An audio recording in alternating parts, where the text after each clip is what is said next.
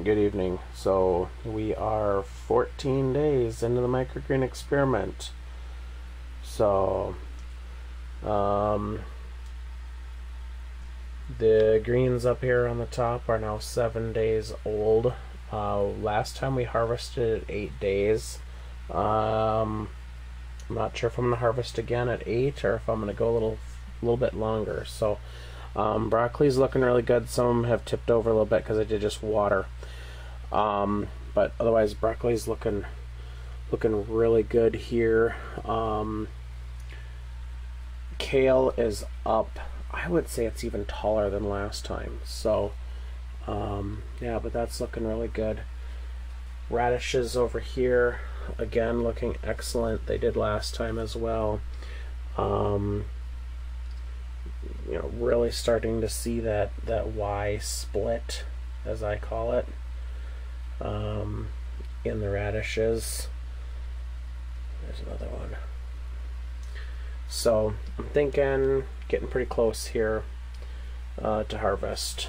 Um, peas and sunnies are um, a little bit behind um, by a day because I had soaked um, before planting. Peas look really nice. Um, waiting for them to open up a bit, um, but they look really nice. Sunnies are are really starting to come up. Um, still need to finish. You know, I got a lot of hulls on them yet. Those aren't coming off quite yet. So um, I think they're a little bit longer crops, so they'll take a few uh, a few more days.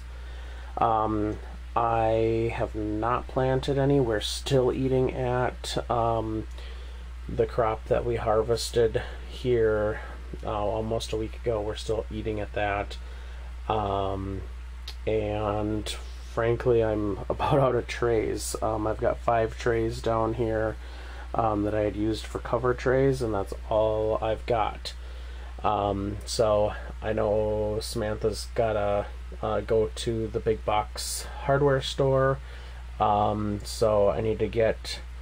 Um, I can pre-order it online, and they'll like pull it off the shelf and have it ready for her. So um, they say they've got like 18 of these trays in stock. So I think I'm gonna buy all 18 of those. Uh, I need a couple of light bulbs. Um, and a couple other minor things. We had a um, a couple other issues. Uh, we've got a light switch that went bad in the house, um, so need to get a new light switch so I can put that in. Um, just you know, a couple minor things like that. So um, that's what I got going on. So just wanted to give you that update. Um, it's uh, about 10 minutes to midnight, um, and I got to work in the morning. So I'm gonna call it a night, and we'll catch y'all later.